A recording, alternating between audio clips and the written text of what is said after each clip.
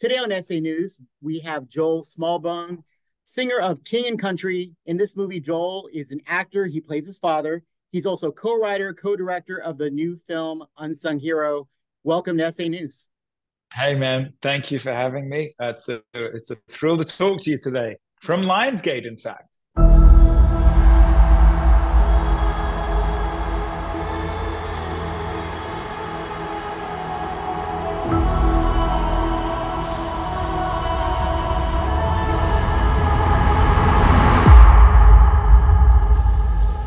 Okay, stay close. Let's go.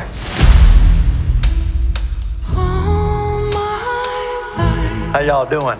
Are y'all from England? Uh, Australia. Australia. Wish I had an accent. Dad, I wrote a song. Thought maybe we could ask for an audition. Oh, that's great, honey. Let's take it one step at a time. Kay tells me you're a promoter. You know someone looking for one. Well, I may know somebody who should be. She's been given a beautiful voice. It's a miracle. She's a special one, son. Your family, they're not in the way. They are the way. How far we've come. Look at you, man. You're making it happen. you my my how that that they could not be a more you know apt headline than how far we've come both geographically and vocationally very kind i'm uh i'm very proud of you because after seeing this movie it's like a, there's a lot of filmmakers out there. I get to you know i'm lucky to spend time with a lot of filmmakers but you know not not many filmmakers have the opportunity to do what steven spielberg did. This is what you did what steven spielberg did. You know you did a film co co-wrote co-directed a film about your family. Wow that's amazing. How was that experience? I love that you pulled Fabelmans by the way because that was one of the kind of the reference points for this was like you know if it's if it's good enough for Steven, maybe it's good enough for us right uh it was uh it was profound to say the least as one would imagine uh it's my parents' story. I was very young at the time, you know, one of seven kids. Dad lost his job in Australia, or a business went bad, and chasing a dream, he and mum and six kids with one on the way moved continents from Australia to Nashville, Tennessee, Nashville, Tennessee, and uh, and then once we arrived, he lost his job, and so we found ourselves half a world away sleeping on beds made out of clothes, raking leaves, mowing lawns, no furniture, no car, no insurance, and uh, banding together as a family, and just saw mir- miracles happen. Um, really, were united in prayer as a family that during that time, and uh, it's a real thrill to be able to steward that story, not only as a co-screenwriter and co-director with Richard Ramsey, but also um, to step in the shoes and literally the jacket of my father, David Smallbone, in playing him as part of the film. That's amazing. Um, I see. I, am drawn to inspirational films, so I love watching inspirational films. And um, as a father, I'm drawn to content I can show to my family. Uh, we right. saw this movie together, right. and we all we all loved it. Um, so many of these uh, family family first films that are out there they don't have they have an element or two but man this this film hits off like fireworks it has so many different elements throughout the thing it has such a great arc going through the whole film there's so many elements that mm. just keep you revived and keep you energized you want to see where this is going and and you don't know you don't know until it's over you know and uh, there's something at the very very end we cut the credits that really really hit me and um, mm. can you mm. share with me a, a, a, little bit about some of those nuances that were very important for the authenticity of what you were trying to convey? Yeah. I remember it was uh, was the year of our Lord 2020, and the pandemic had just struck. Uh, we were on a drive-in tour, and Luke had called a producer friend, my brother Luke, who's in for King Country with me, and he said, he said to the producer, "Look, we've told this story as a band for years, as kind of a pay it forward child advocacy moment.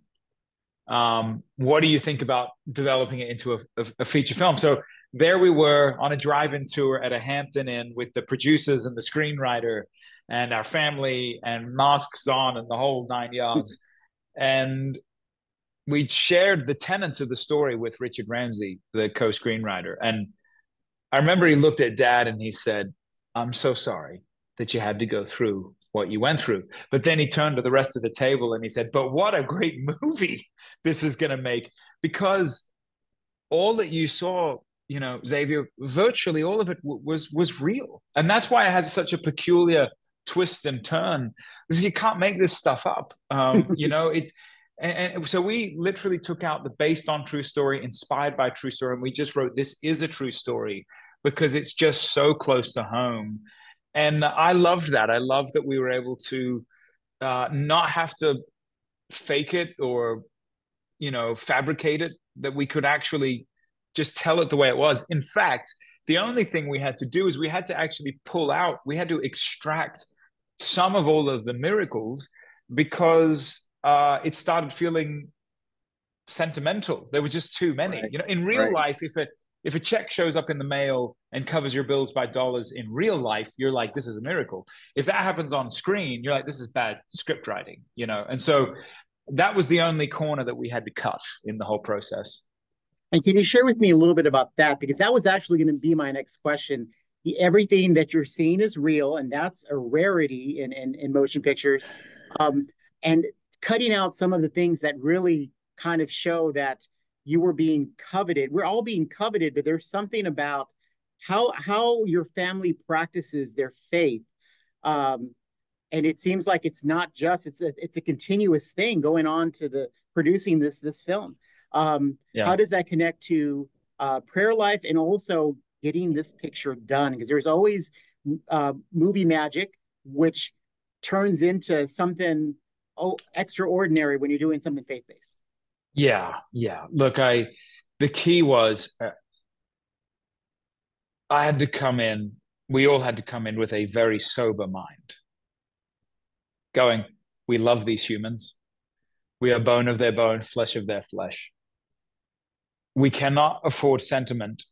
We we can. We also can't afford." Um, glorification unrealistically. And we also can't afford bias. We have to surround ourselves with people who are can speak truth, who can call us out when we're making the wrong decision. And so there's just a speaking of unsung heroes, there's a great team of unsung heroes in front of the camera and behind the camera that really took this story and made it their own. And that's what you're seeing on screen as well. This this became yes this is our parents story and yes it's my family story but the real heartbeat of it is i found this as a musician. The the closer you get to your own heart with art the further it reaches into someone else's and so while this is a story about my family, this is a story about the family. This is a story about mothers around the world. This is a story about migration. This is a story about miracles. And so I had to really, yes, on one hand, I had to go deep into my heart, but on the same time, I had to go, this is not like you give it away. This is what we do in music all the time. You release a song. Remember Bono from U2 said it once. He, he released the song and then he said, it's not my song anymore. It's your song and that's the way I feel with this movie. You know, come April 26th, you know, what we're calling Family Day, and when it releases in theaters around Canada and America and the world, it's not my movie anymore. It's not my story anymore. It's the world's story now. This is definitely something different, and we've come to, we've come from this lineage of these movies that are uh, inspirational or faith based that kind of have these corny elements. This is something so different that um, I'm very proud that uh, that this is kind of we're we're changing the narrative here. People are seeing mm-hmm. something that they can be feel connected to, be proud of, and something that I feel like this movie is going to last generations. So um, mm-hmm. I, I, think that you're there in the Lionsgate uh, jail because they want to keep you. They don't want to let you go. right, right. Oh, well, man, I, I, I hope so. I, you know, the the saying goes, "Pain is temporary, but film is forever." And it's it's a humbling thought to think that you you created something that will go down in some form as documentation as to what my parents walked through and their great faith. And uh, the highest compliment, Xavier, because I know you see so much, is that that we accomplished the mission in making it grounded and gritty and warts and all.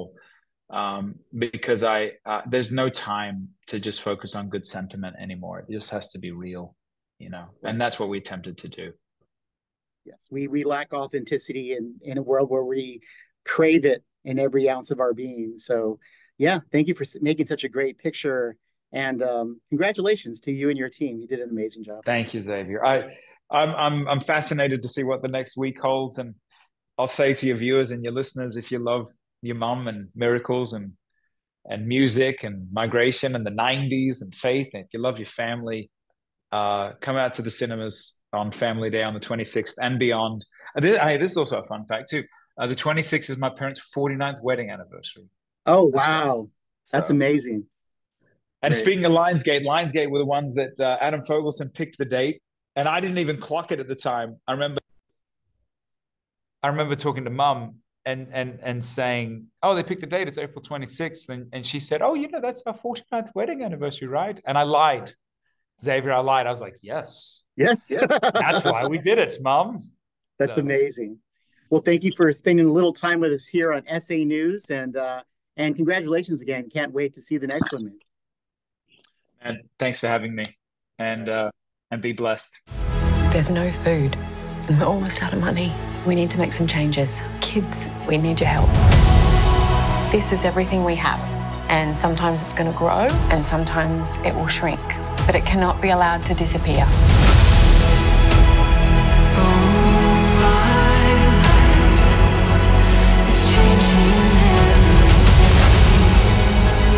I wonder if he's right.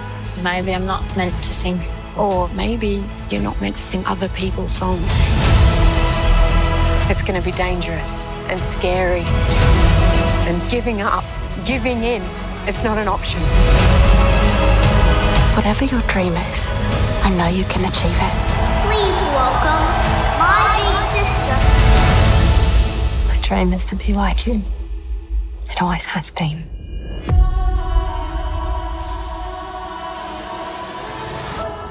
I want a record deal. So do I.